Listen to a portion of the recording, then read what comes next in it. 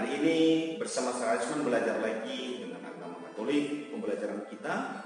Ini merupakan uh, bagian terakhir dari bab 1 tentang panggilan hidup manusia, terutama tentang profesi atau kerja.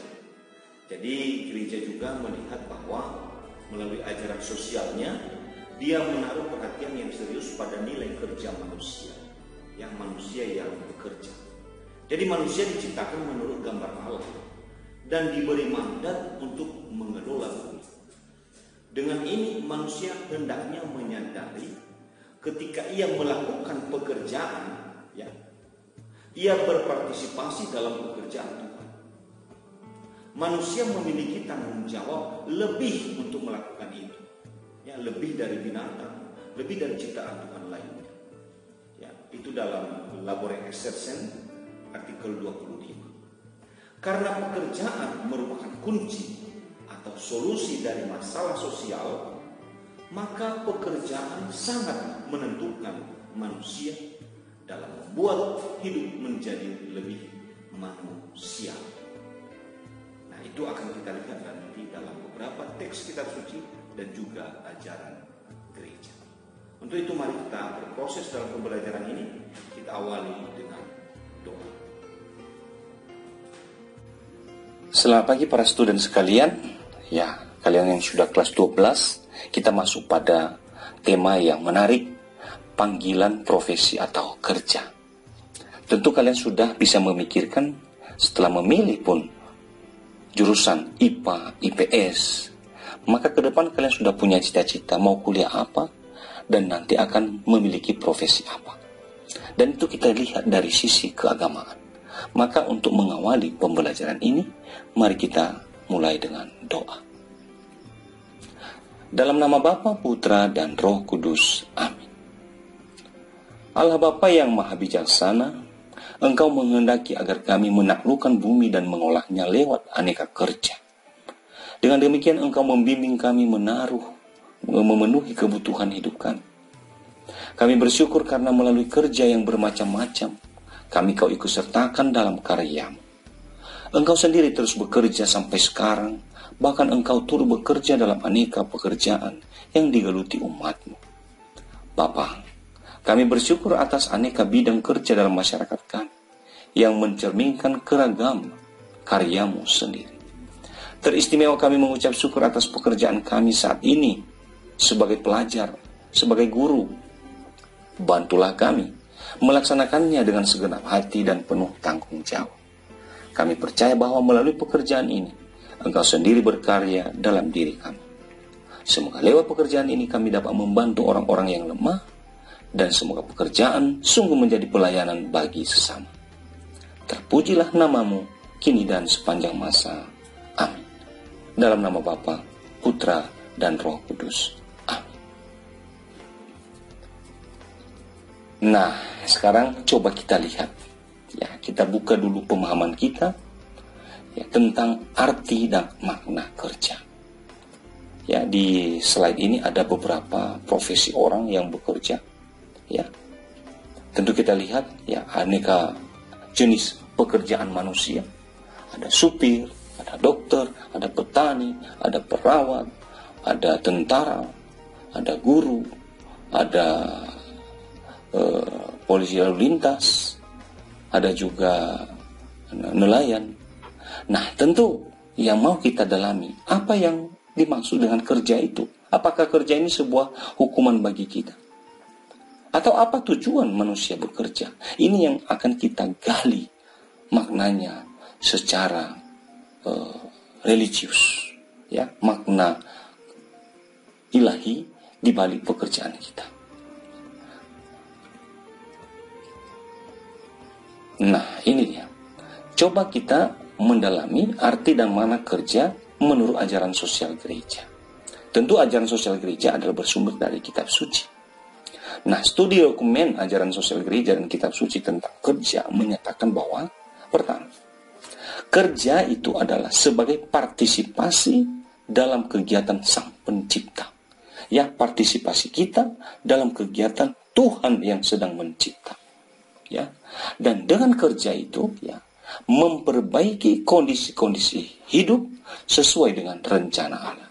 Jadi kita harus melihat rencana Allah ya dalam setiap kerja kita. Bila kerja kita itu tidak sesuai dengan kehendak Allah, jangan kita lakukan. Ya, kita harus belajar dari Tuhan. Tanyakan sama Tuhan. Tuhan, inikah profesi yang benar yang engkau kehendaki aku lakukan? Atau apa panggilanmu untukku? Berikut. Ya. Manusia sebagai citra Allah ya dengan kemampuannya itu ya, menaklukkan bumi menaklukkan di sini ya, berarti merawatnya, memeliharanya beserta segala sesuatu yang terdapat padanya. Ya, serta menguasai dunia dalam keadilan dan kesucian. Bukan berarti manusia akan sewenang-wenang, semena-mena mengeksploitasi dunia ini, bumi ini atau uh, ciptaan yang lebih rendah darinya. Tapi manusia yang paling tinggi derajatnya dan dia harus bersikap adil dan ini terjadi dalam kesakralan kesucian.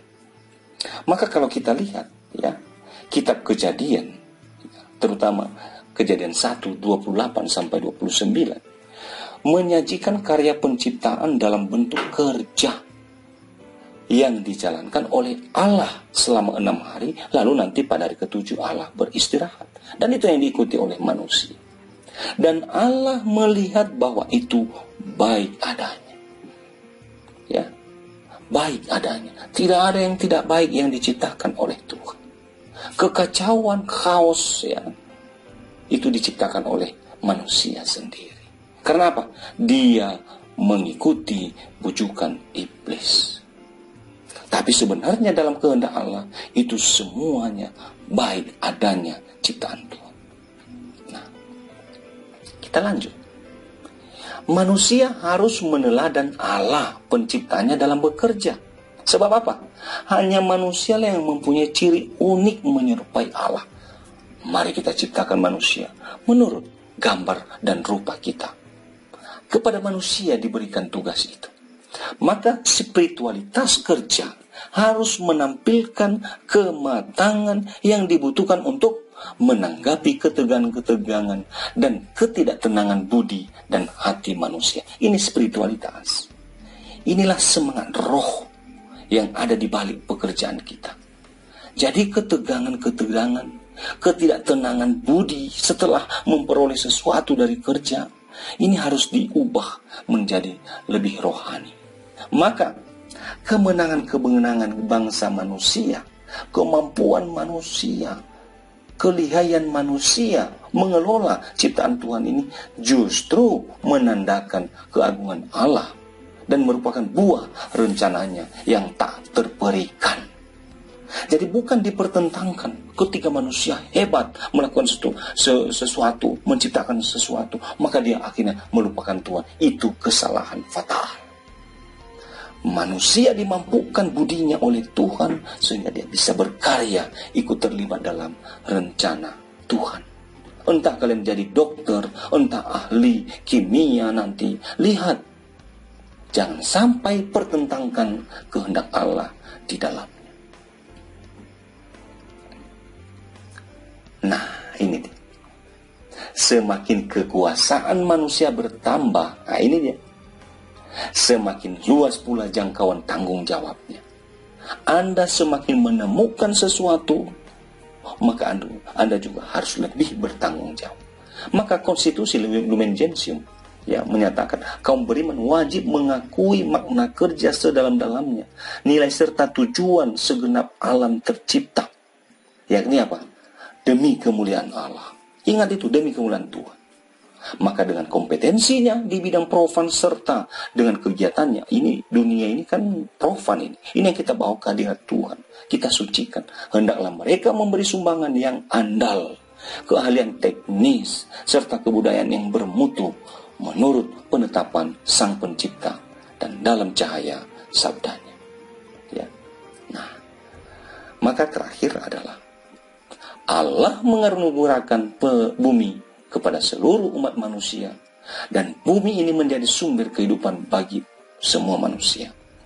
Bumi tidak menghasilkan buah-buahnya tanpa tanggapan manusia. Maka manusia harus bekerja. Maka melalui kerja, manusia dengan menggunakan akal budi dan kebebasannya, menguasai bumi dan menjadikannya kediaman yang layak bagi dirinya, bagi sesamanya, bagi seluruh ciptaan Tuhan. Luar biasa makna spiritualitas, kerohanian, sisi profesi kita. Maka untuk itu, ya demikian pembelajaran kita